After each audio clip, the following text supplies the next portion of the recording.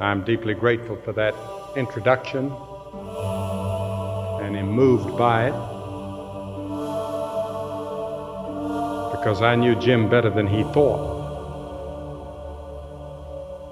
His wife's father used to be my father's veterinarian. I don't mean that my father was an animal. My father had a dairy farm, and the veterinarian that came to minister to the cows was, was Ann's father.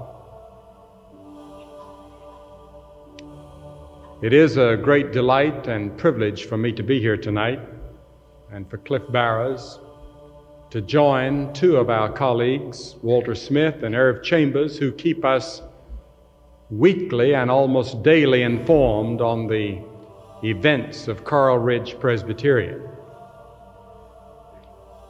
Now, tonight, I want you to turn with me to Hebrews, to Hebrews, the 12th chapter, for a very brief word. Disraeli once said that a speech to be immortal does not have to be eternal. And I intend to be brief in what I have to say tonight the 12th chapter of Hebrews, and I'm reminded of this text because I've been in Washington, D.C. all week, and I gave nine speeches in Washington this past week. I'll just tell you about a few of them. On Tuesday morning, I addressed the staff of the White House. Secretary Earl Butz was in charge, and he introduced me. Then the next morning, I addressed the judges of the Supreme Court and all the judges of the District of Columbia. Judge Sirica sat to my right, and they said it was the largest gathering of judges that they'd had that they could ever remember, all at one time in the city of Washington. And all I did was give a straight gospel message. And all week long, we had 12,000 people at the Pentagon on Wednesday noon. The employees at the Pentagon. It's been a tremendous week, but I've heard a lot. I've felt a lot. I've seen a lot. And I'm convinced that we're living at a very critical moment in the history not only of America, but the history of the world. And there are many people asking the question will we survive as a nation? Can our world make it? Or is this the end? Are we living at the end of the age? What moment on God's calendar is this? The next five years will be turbulent, historic, tremendous, overwhelming years that you and I are going to live through. Our world will not be the same five years from now more changes are going to take place in the next five years than possibly any five year period in the history of this republic.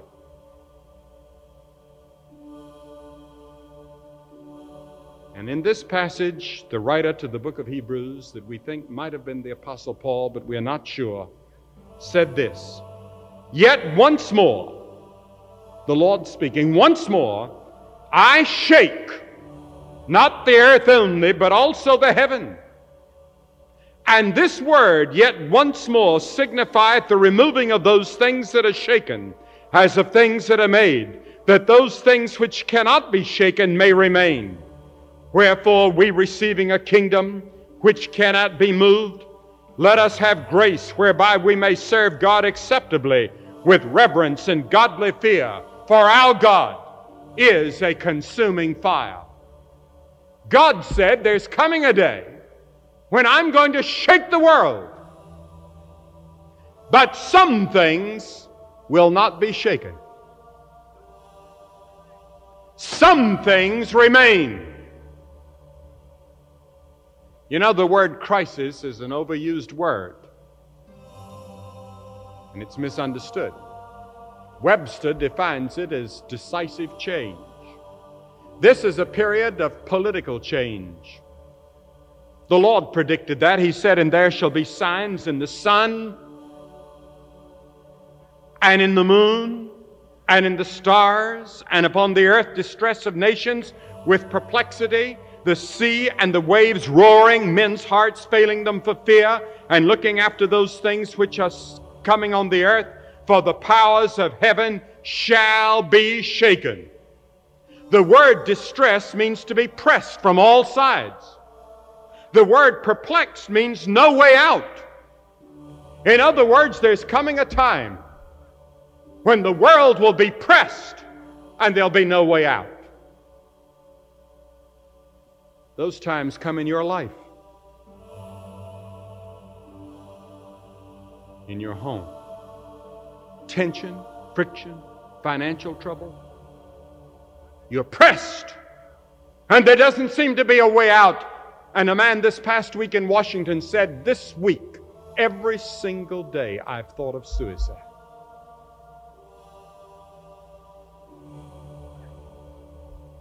Pressed.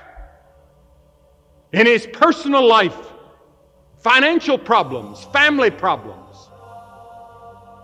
pressing upon him, a physical problem pressing upon him, no way out.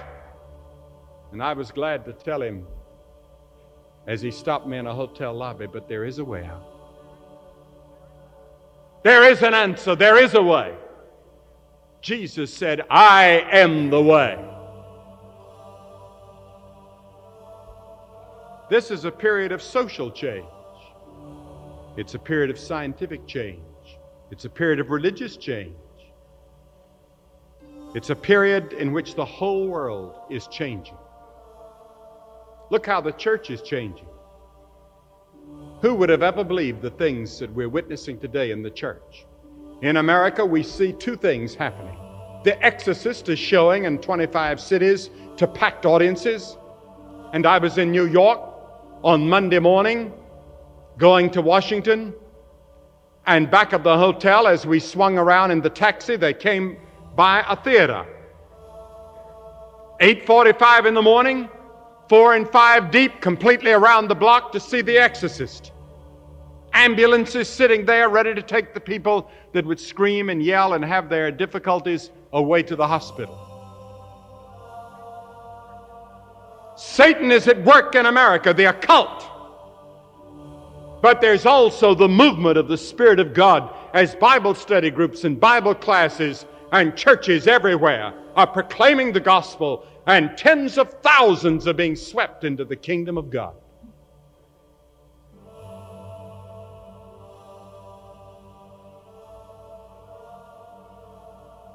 I heard about a man that had gone to a Baptist church and in the Baptist church, they give an invitation usually in the Southern Baptist to come and join the church. And on this occasion, nobody came. And this man was the worst man in the community. And he sat there and he was half under. He'd taken a couple drinks that morning and he felt so sorry for the minister that finally he staggered down the aisle. And he joined the church and they voted him right in. And the next Monday, when he was sober, some of his friends came to him and said, You did a terrible thing. Joining that church when you know you don't live it and you don't mean it. He said, I know, I don't know what happened to me. He said, I just I just felt so sorry for the minister, standing up there by himself. And nobody responding. I, I just had to go. He said, I'll, I'll undo it next Sunday. He said, I'll go and tell him. So the next Sunday, the same thing happened, and he came down the aisle. And he whispered to the minister, he said, I'm very sorry for what I've done. He said, I, I just can't tell you how sorry I am. And the minister turned and told the congregation the story, and they voted him out of the church. He said, You know, this is a strange church. He said, I told a lie and they voted me in. I told the truth and they voted me out. Now, that couldn't happen in a Presbyterian church.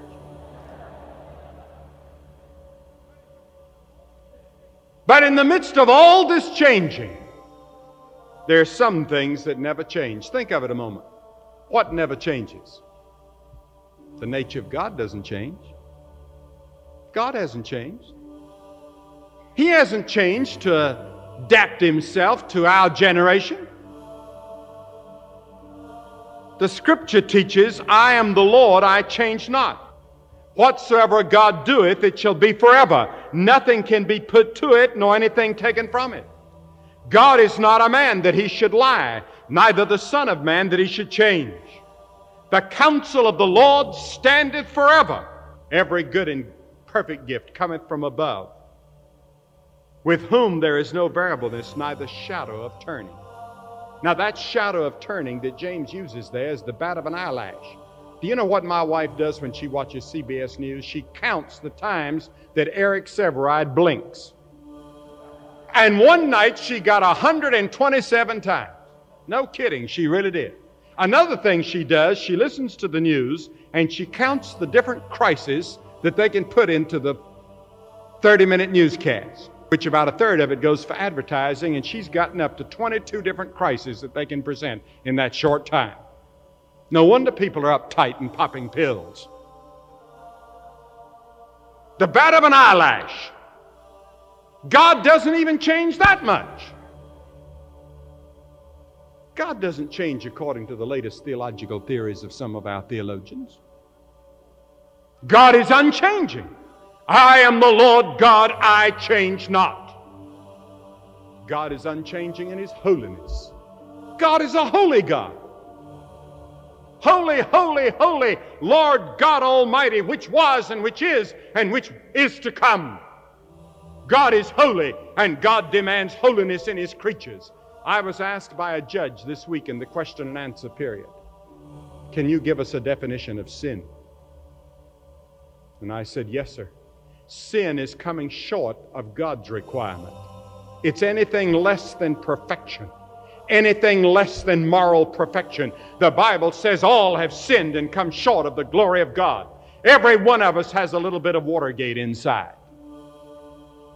We're all guilty of coming short of God's holy requirements. And we're all sinners and we're all in need of the grace and mercy of God. And that's why the Lord Jesus came and died on the cross. He died for your sins, He died for mine. And God took your sins and laid them on Christ. God changes not in His holiness.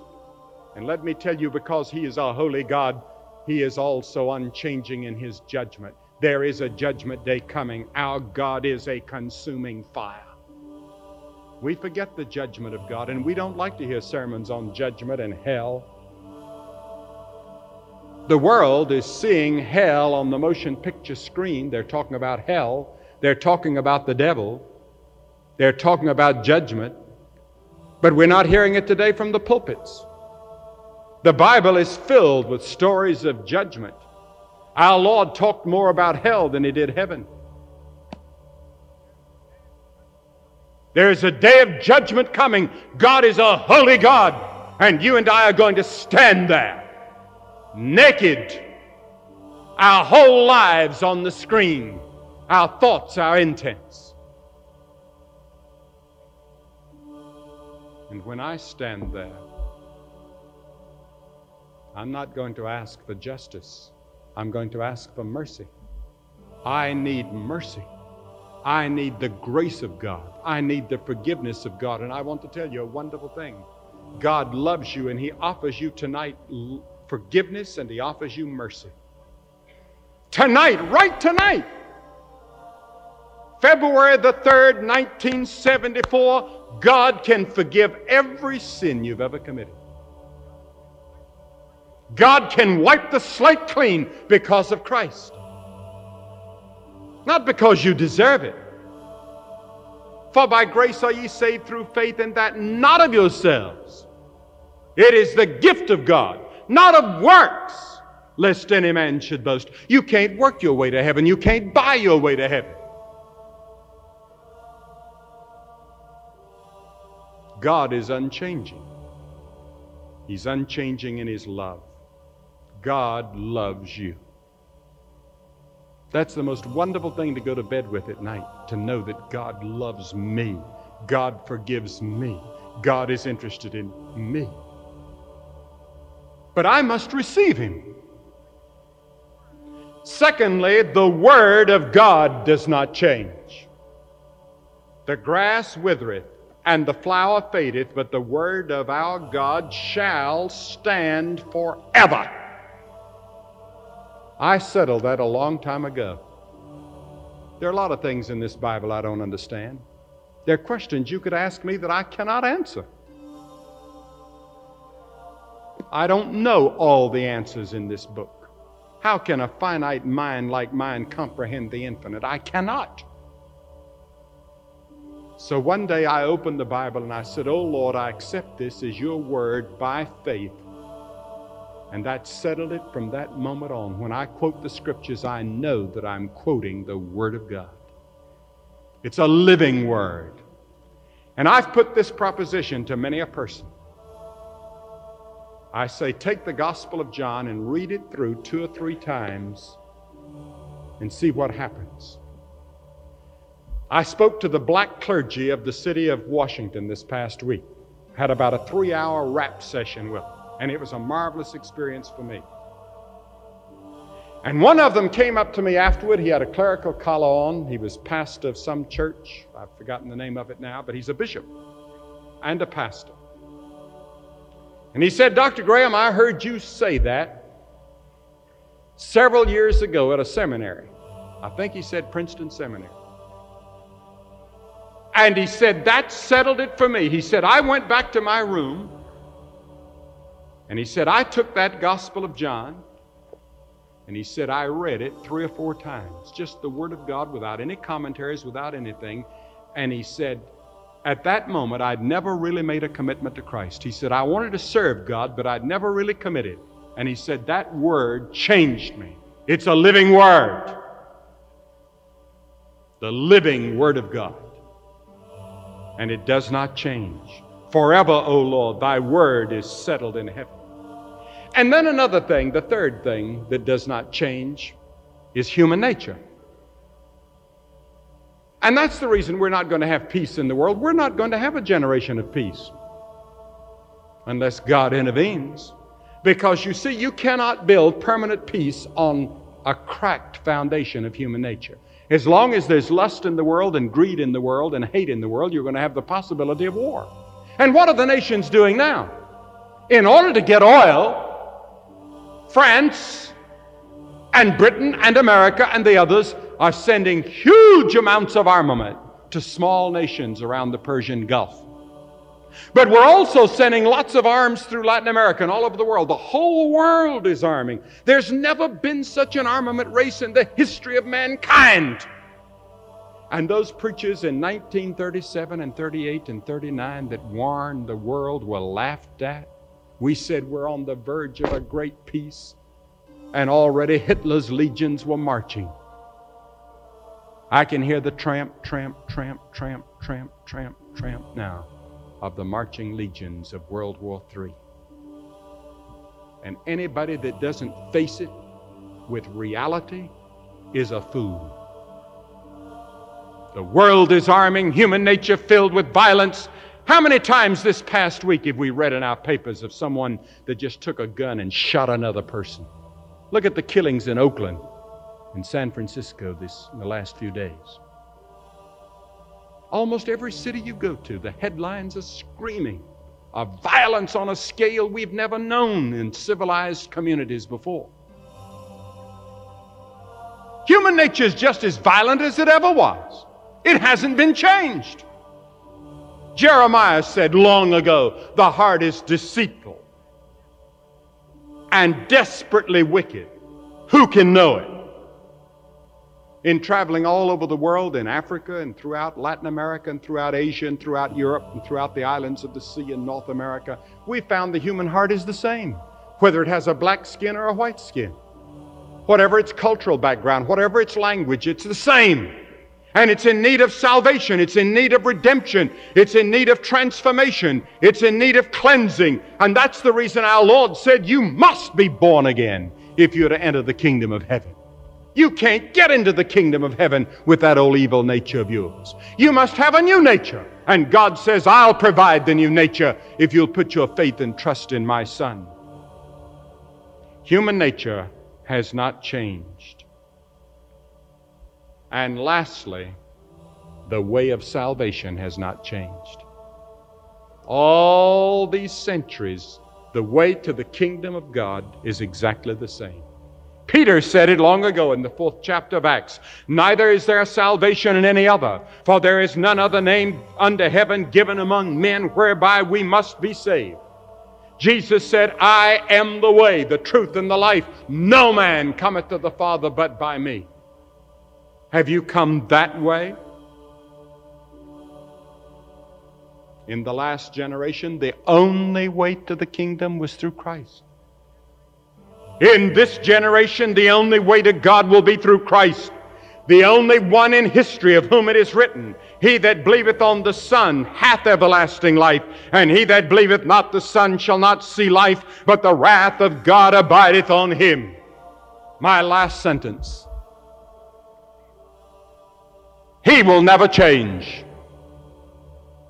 but you must change. Have you been changed by the power of God and the touch of Christ? Well, you say, What do I have to do? It's so simple that people stumble. It's not complicated. It's so simple that a blind man can believe, and a deaf man can believe, and a dumb man can believe, and a lame man can believe and a black man and a white man and a yellow man and a red man. All you have to do is first repent. That means that you say, Lord, I'm a sinner and I'm willing to turn from my sin. Secondly, receive by faith Jesus Christ as your only Savior. By faith. You cannot understand it all intellectually. Forget that for the moment. Come by simple childlike faith and say, Lord, I don't have much faith. It's smaller than a mustard seed, but I believe. And then say, Lord, I'm going to follow you and serve you. And then when you say that, you're saying to yourself, but I can't hold out. I... No, you can't. But He'll do the holding. All you want to do tonight is say, I commit. And there's this card right there. I'm going to ask that we bow our heads and say tonight, I recognize that I am a sinner. I need the Lord Jesus Christ as my Savior. I now repent of my sins and trust Him as my personal Savior and Lord. And as He gives me strength, I shall live for Him, witness for Him, and seek to serve Him in the fellowship of His church. Now, that doesn't mean you're joining this church. It means that you're receiving Jesus Christ into your heart and life. Now let us bow our heads. Our Father, we thank Thee for the changeless message of the gospel at a time when it seems the whole world is crumbling round about us. We thank Thee that we have a gospel to proclaim of hope and love and forgiveness. And we pray that those that have been listening might have been listening to another voice, the voice of the Holy Spirit. And may they come this night to make their peace with God and find His grace and love and mercy and forgiveness adequate for their lives. May young people receive Christ tonight and find new purpose and new meaning in their lives. And we pray that the Holy Spirit, the great follow up agent, will follow them, encircle them, and help them, lead and instruct them. For we ask it in the name of our Lord Jesus Christ. Amen.